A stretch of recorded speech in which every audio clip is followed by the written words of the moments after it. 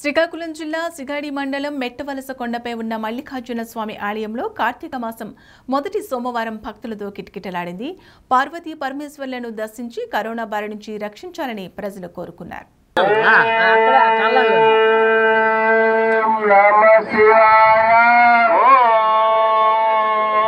నమ